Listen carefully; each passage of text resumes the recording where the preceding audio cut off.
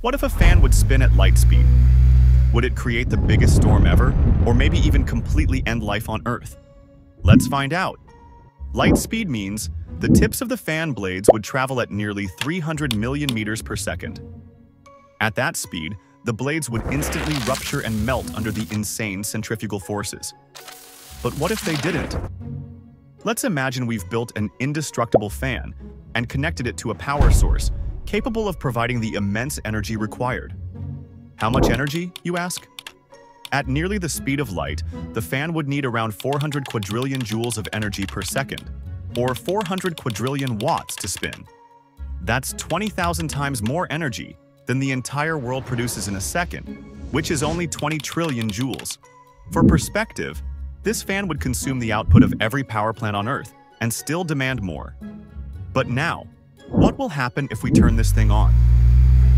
The blades interact with the air molecules around them, but they're moving so fast that normal air resistance doesn't apply anymore. Instead, the blades smash into air molecules, releasing so much energy that they break apart into plasma and emit high-energy radiation like X-rays and gamma rays. The fan would glow with a blinding intensity, emitting enough energy to heat the surrounding atmosphere to well over a million degrees Celsius.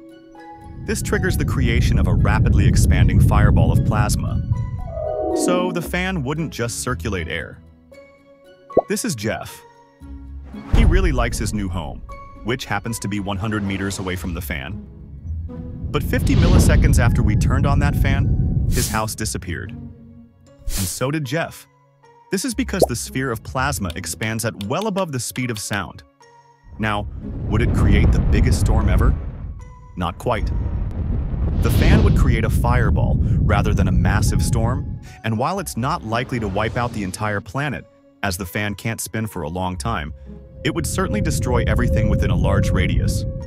In short, your light-speed fan wouldn't cool you down on a hot summer day. So, what's the moral here? Stick to your regular fan. It's quieter, safer, and doesn't vaporize your house.